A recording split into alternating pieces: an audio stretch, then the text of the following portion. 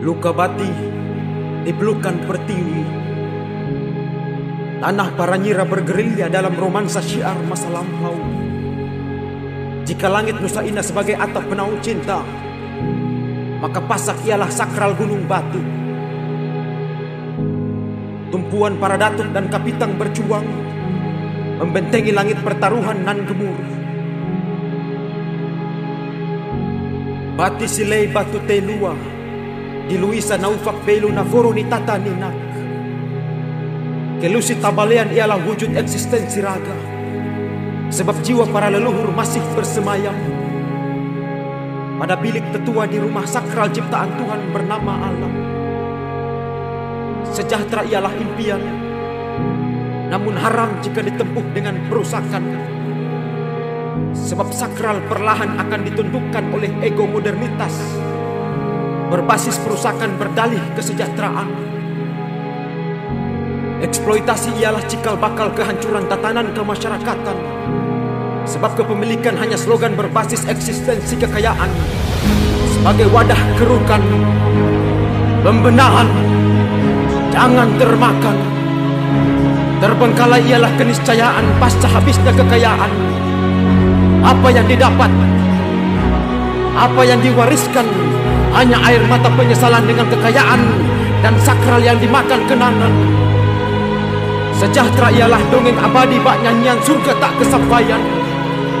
Sebab untung tanpa rugi ialah tabiat selingkuhan bernama kapitalis. Maka musibah terbesar ialah kerusakan tabiat anak cucu bermental materialis.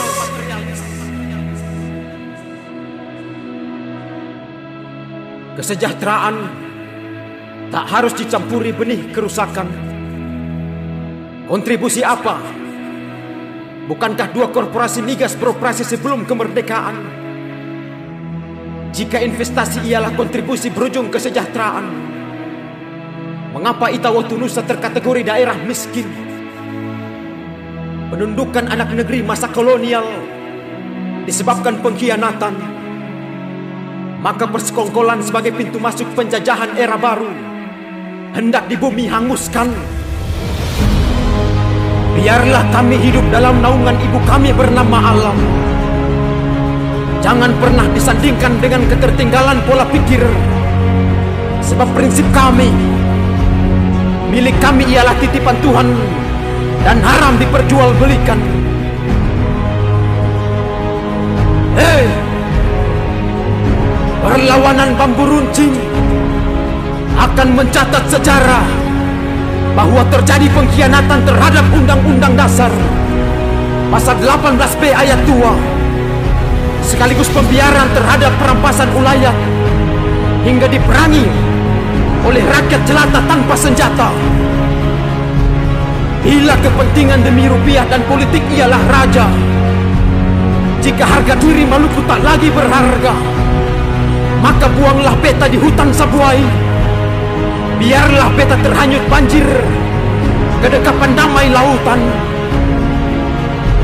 Jika perjuangan leluhur dan negeri raja sebatas nama Buanglah beta di savana Marafen-fen Biarlah beta dipukul senjata bahkan ditembak timah penindasan. Agar jiwa beta dapat bersaksi Bahwa gugurnya beta